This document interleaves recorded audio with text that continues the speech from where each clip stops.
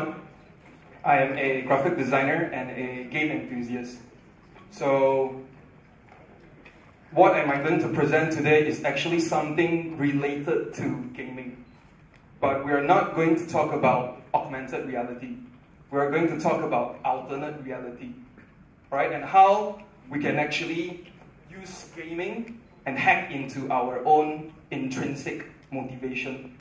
Now, to me personally, I think game is more than just a isolated escapist simulation that most people would actually brand game into that aspect. Um, but personally, I think game can create a vital and complex engagement with the real world and the real life. Now, games are clues to the future and the serious cultivation is perhaps our only salvation I was inspired when I was reading through a recorded text by this Greek historian. His name is actually Herodotus. Now, according to Herodotus, games, particular dice games, are invented by the kingdom of Lydia when they are actually suffering from famine. Now, according to the text, Herodotus mentioned that these people they survived the famine for the past 18 years by playing game. Why? I was very curious and I was um, inspired in a sense because when I heard this, I tried to find out more research in terms of how they actually accomplished this. And then recently I found the text. And it was mentioned that when they play game, it creates a certain distraction from their hunger. So they would actually eat on every other day. And then the alternate days when they're actually fasting, they actually play a game to distract themselves. And they actually pass 18 years of famine because of this activity. Now, eventually, they would run down of resources. So the king of Lydia decided to tell the people that, all right, I think we need to play our last game. Now, this last game will actually decide how they would emerge into the future. Now, one part of the people, they would stay back and they will use whatever resources they have. The other half, they would actually venture off Lydia and go to colonize other location. Now, um, archaeologists today actually found that there is a relation from modern day Italians they actually found a genetic code which can reach back to the kingdom of Lydia. So there is a possibility that these people from the kingdom of Lydia actually survived the famine.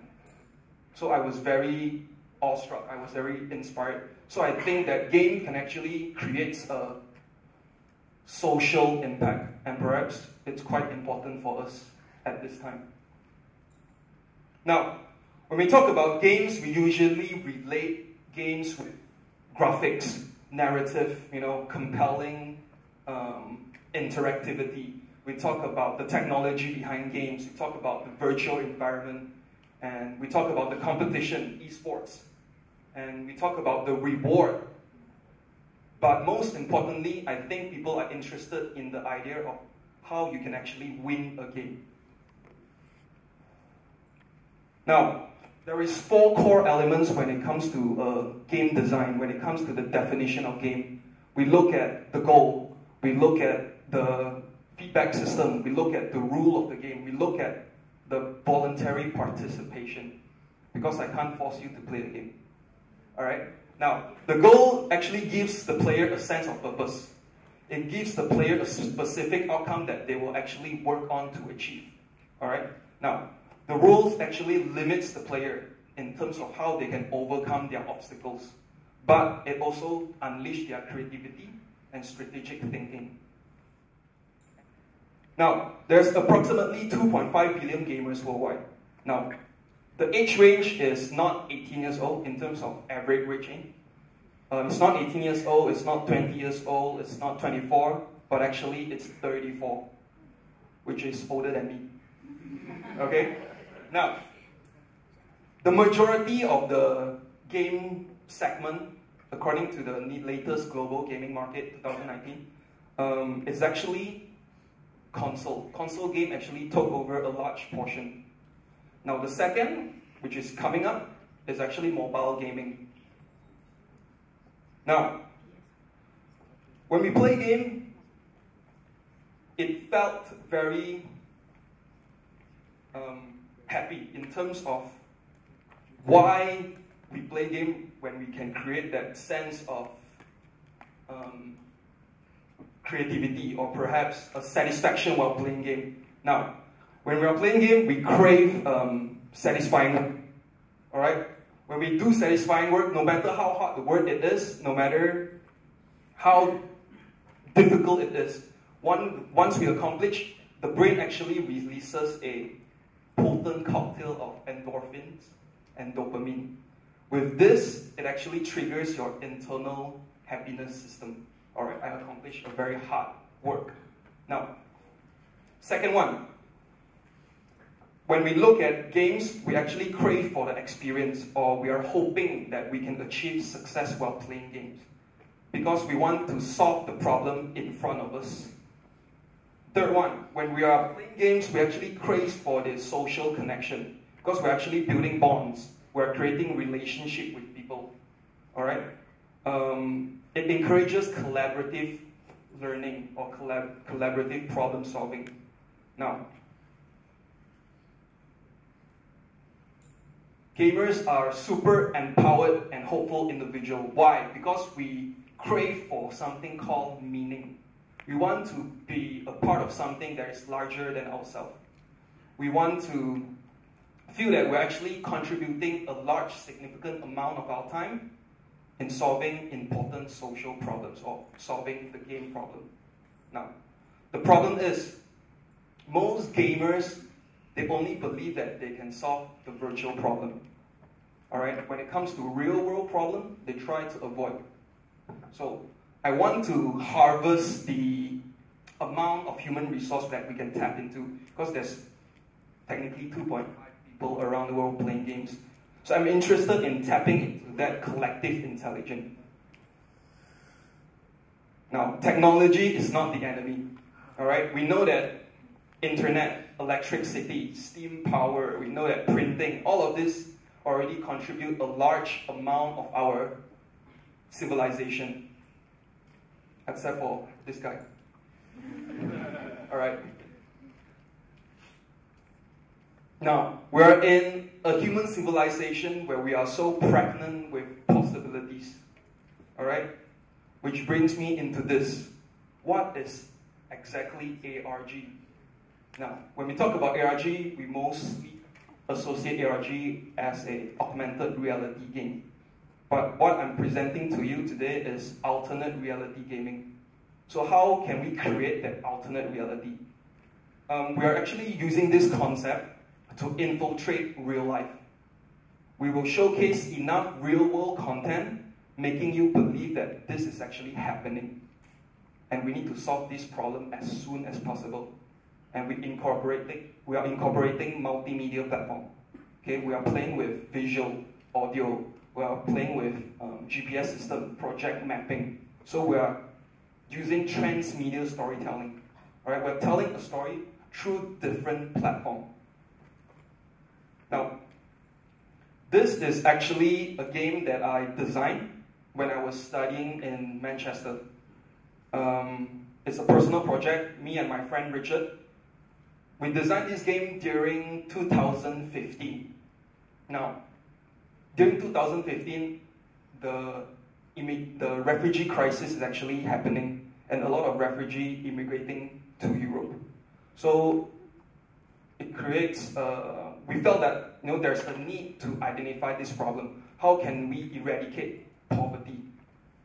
So we actually created this poster. As you can see, it's very provocative, it's very bold, right? We're actually creating a character called Ania, and we, are, we, want, we want to tell the story, okay? But it's fictional, but the poster seems like it's real. So when place this poster around Manchester, people actually, they're quite curious, okay, who is this? And why there's like extermination, there is like, who is Ania? Have you seen Ania? Is it a missing girl? So are we going to try and help and help to find this girl. So below the poster, there's a website. We named the game Popularis. Now, once you get access into the website, you sign up to the newsletter, you will receive something called something we call a postcard from the future. Alright? Richard, he is a writer, so he wrote most of the story for me. He wrote most of the clues of the game. So I did the design, I did the visuals, I did the illustration. So players will actually receive this postcard. Alright? On top of the postcard, you can see there's a GPS code. Alright, and then there's a poem below. So people actually, they have to Google the place. They have to Google map the place and try to relate the poem and the location itself. So this is actually the Manchester Central Library. Alright, once they went to that library, there's a signboard. So they have to scan. They have to use their phone to scan so that they can get access into the story or into the game world. So we're actually combining the real world and alternate reality together. So this is a visual, okay? Now, sorry for the portrait landscape contradiction. All right, this is a blog space or information website. So when people get access into the game, they will first encounter this website. So this website is actually a think tank.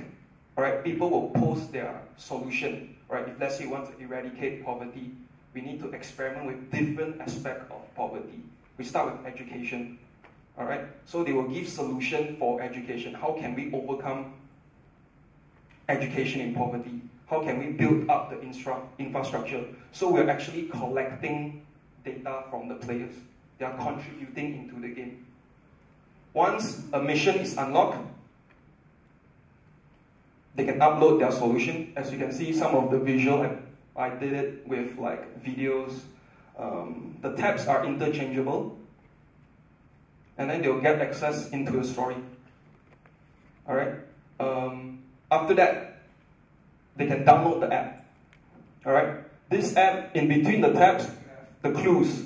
You have the storyline. You have the poverty eradication technique. And then we want to do this to bind up the whole world together. Different players from different locations, so we can definitely create a think tank. We want to harness the power of gaming and how people can actually contribute and face social impact issues. Alright, this is another visual. Now, the main aim of my talk, or perhaps my personal project, is to tell that games are not just outlet for entertainment. We can actually use games as a creative expression. We can use game as a tool to examine social issue, right? Because we are playing in a very safe environment. We are playing in a very safe setting. So if let's say this solution doesn't work out, we can try another solution. So it keep pushing us to try and try and try. Now, I hope I can inspire the future generation in trying out different tools to experiment. Um, that's all for my talk. Thank you very much.